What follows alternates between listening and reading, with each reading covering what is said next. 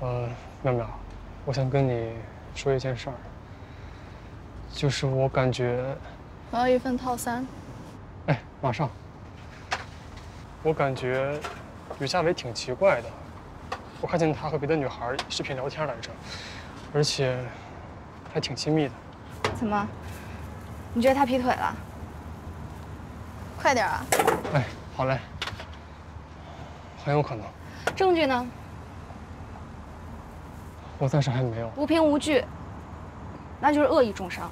他社交账号太干净了，我感觉。你感觉，那也是没有证据。还没好吗？你稍等，我马上。妙妙，